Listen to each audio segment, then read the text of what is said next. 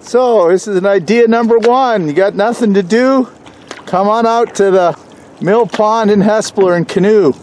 Lots of space for social distancing. In fact, we're the only ones here, other than the birds.